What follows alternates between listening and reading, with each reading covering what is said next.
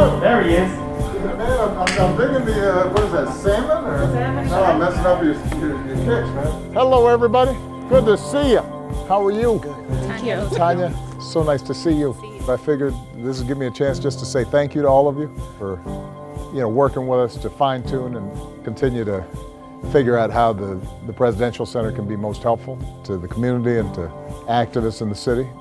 The goal is to create healing spaces all over the city so that these young men can see themselves differently. Sitting in that circle, what resonated most with me was the fact that I've been in their shoes as a, as a young organizer. Uh, I know how hard the work is, uh, how dedicated they have to be, and what was important was to hear directly from them how we could potentially help to strengthen their organizations so that they don't feel as isolated they can work together collaboratively.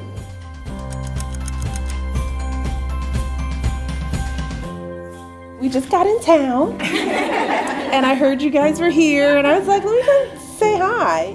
I was you all. You know, I grew up 74th and Euclid. This city, this community made me what I am.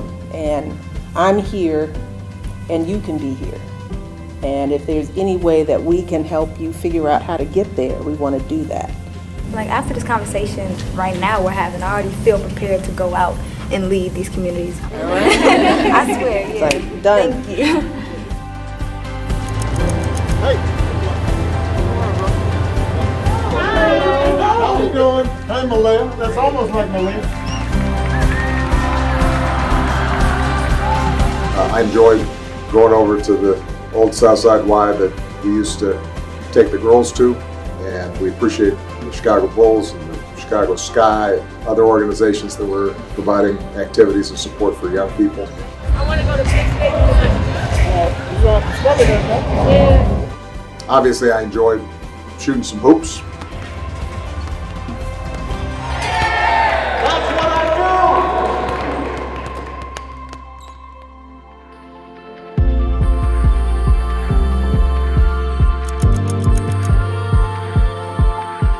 How about somebody who is a lawyer?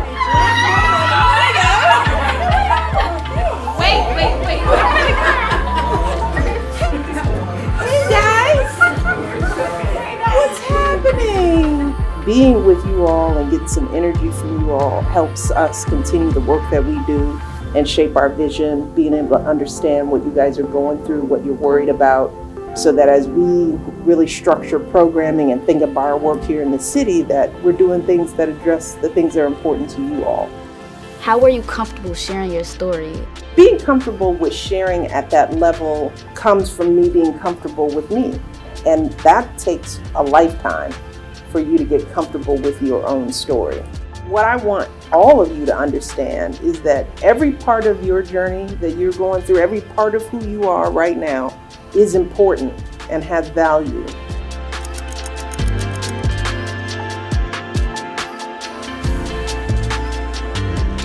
today to spend time here at the University of Chicago to hear how the university and the hospital uh, are really taking on the mission of providing support economic development and social service uh, outreach to communities in need, figuring out ways in which the foundation can collaborate with one of the key institutions here on the south side.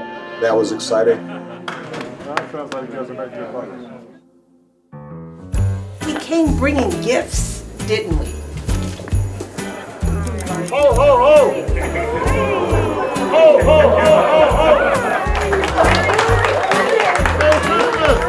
be able to end with a visit here at the Children's Hospital to spend time with young kids who are going through, you know, a, a tough patch, and their parents who are obviously going through all the stresses you can imagine, uh, and yet still seeing a spirit of joy and, and vibrancy uh, in those kids.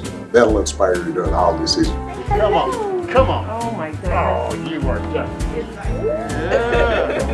So it's been a great trip. It's a reminder of how much talent and, and how many assets are here in Chicago and on the south side, but also how much uh, work remains to be done. And uh, we're looking forward to partnering with all these organizations to get it done. Bye-bye. Bye. All right.